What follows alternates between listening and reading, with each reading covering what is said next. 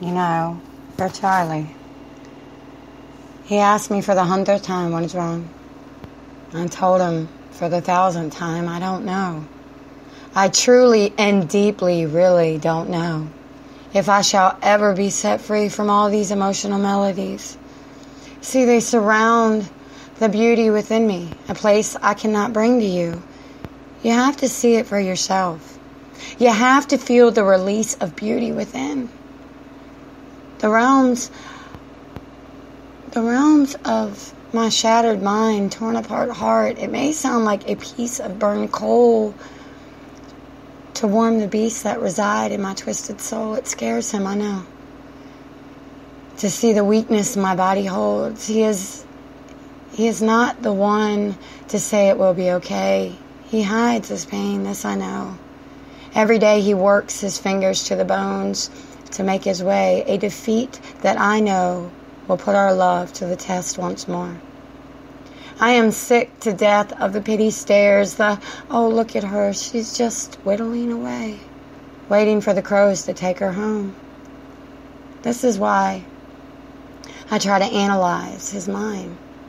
He has never been the one to stay when sickness comes through. He's not strong enough to deal with all the pain he feels. He keeps hmm, he keeps his devastated heart locked away for fear I might see that man of mine give way to lose his way of staying in control. It is an illusion, I say.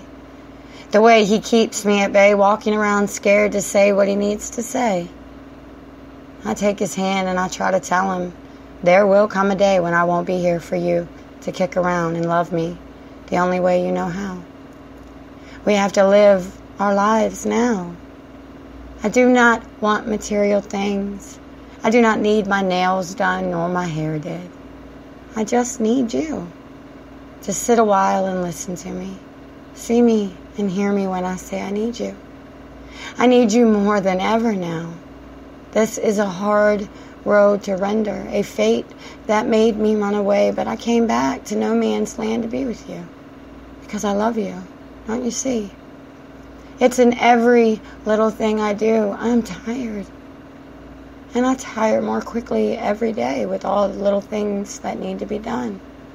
So, with this said, I have no more to give to anyone.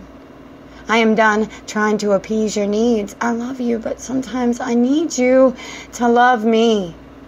A non-stop clock of tick-tocks I give to you. But this clock will stop soon. Then what will you do?